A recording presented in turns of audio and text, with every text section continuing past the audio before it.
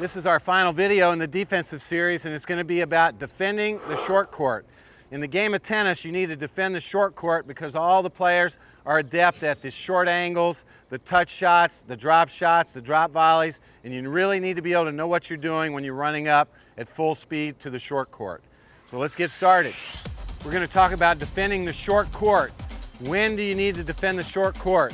When your opponent hits you a drop shot, okay, you need to be able to run up, the ball's going to be below the net. That's what puts you on defense. So you need to be able to handle those balls that are below the net while you're on the run coming forward. There's a couple of situations that we should talk about. When your opponent stays back at the baseline and they hit a little short chip that stays below the net, you're going to be forced to come up and bump the ball down the line. That's when you're going to do that. Okay, now if your opponent, say they hit a short ball or a drop shot and they come to the net, then you're going to be forced to use either a touch shot, potentially a lob if they close, or a bump right at them, okay, but even below the net.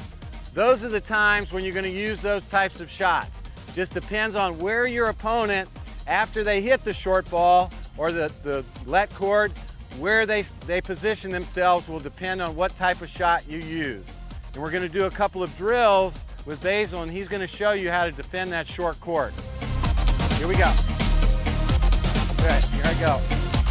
Come on, find it, find it. Good boy, go back.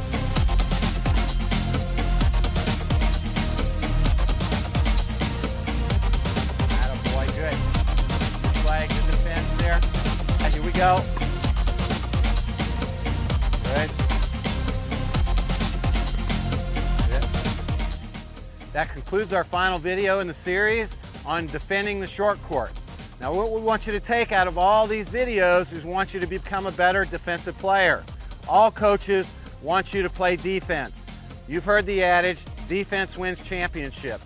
We want you to run for the extra ball. We want you to track the ball. We want you to be able to know what you're going to do to get that extra ball back. Give yourself a chance to win that point.